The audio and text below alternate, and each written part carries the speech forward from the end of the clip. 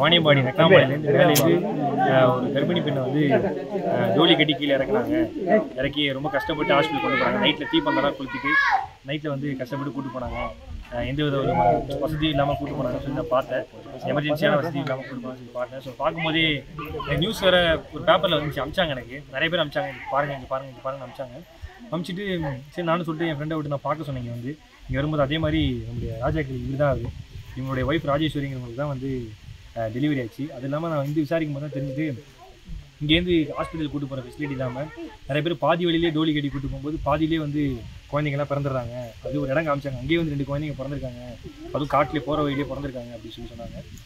இந்த மாதிரி ஏன்னா இவ்வளோ தான் ஸ்பேஸ் இருக்குது ஸோ இதுக்கு தகுந்த மாதிரி கரெக்டாக கொண்டு போகலான்னு சொல்லிட்டு நம்ம பேசி கரெக்டாக டிசம்பர் நவம்பர் லாஸ்ட் வீக் வந்து இவங்க பார்த்தோம். பார்த்துட்டு சரி ஓகே கூடிய சீக்கிரம் பண்ணோம் அப்படின்னு சொல்லிட்டு கொஞ்சம் ப்ராசஸ் பண்ணி கரெக்டாக ரெடி பண்ணி கரெக்டாக எங்களால் முடிஞ்சது. ஸோ இந்த அஞ்சாவது ஆம்புலன்ஸை இவங்க ஒய்ஃபுக்கு தான் வந்து இப்படி ஆச்சு. அதாவது ராஜேஸ்வரி அக்காவுக்கு தான் வந்து டோலி கட்டி இறக்குனாங்கன்னு சொன்னாங்க. இதுக்கப்புறம் ராஜேஸ்வரி அக்காவில் நம்ம நெக்னாமலையில் இருக்க எந்த அக்காவுக்கும் ஆகாது. ஸோ இது வரைக்கும் எந்தெந்த மாவட்டத்தில் கொடுத்துருக்கீங்க? இதோட இது அஞ்சாவதுண்ணே. முதல்ல வந்து நம்ம அறந்தாங்கில ஒரு ஹோமு கொடுத்தோம். இந்த முதியோர்கள்லாம் இருக்காங்க அவங்கள வந்து ஹாஸ்பிட்டல் கூட்டு போக கஷ்டமாக இருக்குன்னு சொல்லி அந்த ஹோமு கொடுத்தோம். அப்புறம் ரெண்டாவது வந்து குன்றி கொடுத்தோம் மூணு சோளக்கணை நாலு வந்து ஈரோடு வந்து சாலையோர மக்களுக்கு வந்து கொடுத்தோம். அஞ்சாவது நம்மளுடைய நெக்னாமலைக்கு இந்த ஆம்புலன்ஸு ஸோ இன்னும் நிறையா பண்ணணும்னு நினைக்கிறோம். ஸோ கண்டிப்பாக இந்த ஆம்புலன்ஸ் யூஸாக இருக்கும்னு நினைக்கிறேன். என்னால் முடிஞ்சது. நன்றி. ஸோ ரொம்ப நன்றி. அது இல்லாமல் யூஸ் ஆகும்ல உங்களுக்கு? கண்டிப்பா யூஸ் ஆகும். நன்றி ஓகே நம்மளுக்கு வந்த நிலைமை இனிமேல் யாருக்கும் யாருக்கு வராது. வர இனிமேல் வரக்கூடாது. கண்டிப்பாக நல்ல ஹெல்ப் பண்ணிருக்கீங்க ரொம்ப ரொம்ப நன்றி. ரொம்ப நன்றி. அது இல்லாமல் நிறைய விஷயங்கள் வந்து இந்த இந்த ஆம்புலன்ஸ் விஷயமா இருக்கட்டும் நிறைய விஷயங்கள் இருக்கு.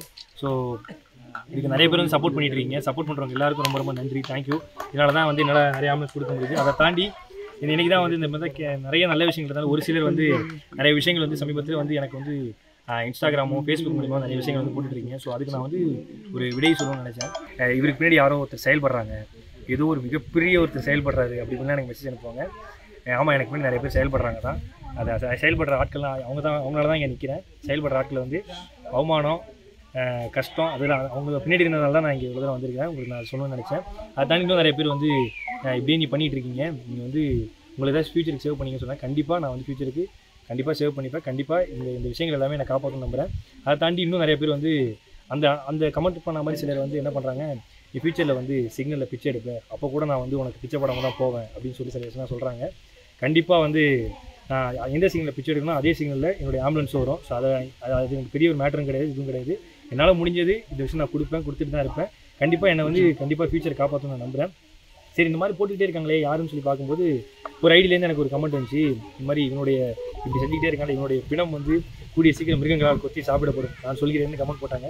நானும் போய் யாரான்னு சொல்லி போய் உள்ளே பார்க்கும்போது ப்ரைவேட் ஐடி விங் அப்படின்னு சொல்லி போட்டு போட்டிருந்தாங்க. ப்ரைவேட் ஐடினா என்ன? அதாவது யாராவது காசு கொடுத்தாங்க அவங்கள பற்றி நம்ம வந்து தப்பான விஷயங்கள்லாம் வந்து இது பண்ணலாம் அப்படின்னு சொல்லி சொன்னாங்க. அந்த நீங்கள் யாருக்காவது காசு கொடுத்து என்ன போய் தப்பாக போடுறதுக்கு என்கிட்டே காசு கொடுங்க நானே வாங்கிட்டு தப்பாக போடுறேன். அந்த காசு மூலிமா நம்ம பசங்க நிறைய பேர் செமஸ்டர் ஃபீஸ் கட்ட முடியாமல் கஷ்டப்படுறாங்க.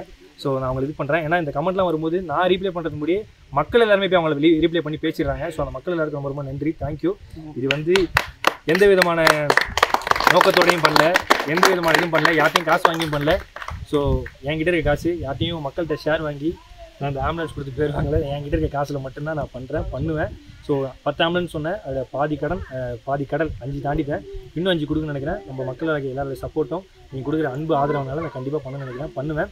ஸோ உங்களுடைய அன்பு ஆதரவு போதும். இப்படி இந்த மாதிரி விஷயங்கள் ஒரு ஆயிரத்தில் ஒரு ஒரு கமெண்ட் ரெண்டு கமெண்ட் இந்த மாதிரி வந்தாலும் பாக்கி இருக்க தொள்ளாயிரத்தி தொண்ணூத்தெட்டு பேர் இந்த ரெண்டு கமெண்ட்டுக்கு எனக்கு வரல் கொடுக்குறது நான் அவ்வளோ ஒர்த் இல்லையா? அப்படின்னு நினைக்கும் போது அப்பா தொள்ளாயிரத்தி தொண்ணூத்தெட்டு பேர் பேசும்போது தான் ஓகே அப்பா நமக்காக இவ்வளோ பேர் இருக்காங்க சந்தோஷமாக இருக்குது கண்டிப்பாக ரொம்ப ரொம்ப நன்றி. உங்களோட அன்பு ஆதரவுக்கு எல்லாத்துக்கும் ரொம்ப ரொம்ப நன்றி. இன்றைக்கி அஞ்சு இங்கே கொடுத்துருக்கோம். ஆறு அடுத்த இடத்துல கொடுக்கணும் நினைக்கிறேன். கண்டிப்பாக அண்மை செய்திகளை உடனுக்குடன் தெரிந்து கொள்ள இணைந்திருங்கள் இயம்நாடு தொலைக்காட்சியுடன்.